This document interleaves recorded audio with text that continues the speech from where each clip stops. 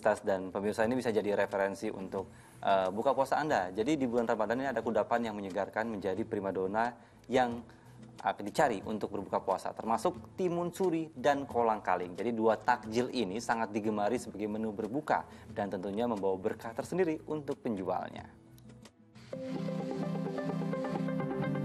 Lapak penjual timun suri di daerah Ketanggungan Brebes ini ramai pembeli, terutama menjelang waktu berbuka puasa.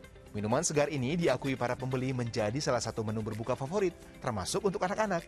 Ini menjadi berkah tersendiri untuk para pedagang. Meskipun harga timun suri saat ini terbilang mahal, yakni mencapai Rp4.000 per kilogram, namun penjualan cenderung meningkat jika dibandingkan dengan tahun lalu. Bahkan pedagang bisa mengirim timun suri ke kota-kota besar hingga satu ton perharinya. Tidak hanya timun suri, kolang kaling yang biasa menjadi campuran dalam es buah segar dan kudapan saat berbuka juga membawa berkah bagi para pedagangnya. Meskipun harganya melambung, permintaan akan kolang kaling meningkat pada bulan Ramadan tahun ini. Di Majalengka, Jawa Barat misalnya, jika sebelum Ramadan pedagang hanya bisa menjual 50 hingga 100 kg kolang kaling perharinya, kini penjualan bisa mencapai 3 hingga 4 kuintal buah kolang kaling. Harganya pun naik dari kisaran Rp10.000 menjadi Rp15.000 per kilogramnya. Tim Liputan melaporkan. Nah ini bulan Ramadan ini kan juga jadi selain ajang berlomba-lomba untuk mencari amal ibadah juga sebagai cara untuk meraup rezeki Ustaz. Mm -hmm. Nah menurut Ustaz ini bagaimana ketika kita uh, mengkhususkan diri mencari rezeki di bulan suci Ramadan ini?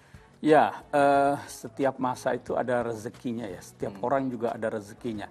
Nah, bulan Ramadan ini memang uh, ya kalau kita lihat itu berbagai macam cara ya orang mendapatkan rezekinya melalui kolang kaling, makanan-makanan khas di bulan Ramadan dan itu tidak mengapa dilakukan hmm. di bulan-bulan orang beribadah di musim haji di bulan Ramadan untuk mencari karunia Allah Subhanahu wa taala apalagi melalui berdagang ya dan berdagang itu dikatakan dalam Al-Quran wa ahallallahu al-bai'a wa harramar riba. Allah menghalalkan berdagang itu. Bahkan berdagang itu dikatakan dalam satu hadis 90% rezeki itu diperolehnya melalui berdagang. Hmm. Nah, Ustaz, tapi ketika kita berdagang nih, mm -hmm. kan kita pasti mencari keuntungan dong, Ustaz. Betul. Nah, seandainya kita uh, mencari keuntungan, eh kira-kira takaran keuntungan kita tuh berapa kali lipat dari harga pokok barang itu, Ustaz? Jadi prinsipnya dalam berdagang itu dibolehkan kita mengambil keuntungan hmm. asal perdagangan itu dilakukan transaksinya transaksinya antarodit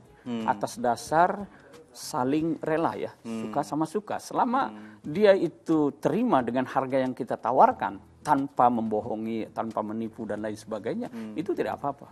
Tidak apa-apa. Jadi di sini kembali kepada kepandaian orang dalam meyakinkan dan selama transaksi itu terjadi antara din atas dasar suka sama suka atau rela saling rela itu tidak apa-apa. Masya Allah. Baik, terima kasih Ustaz.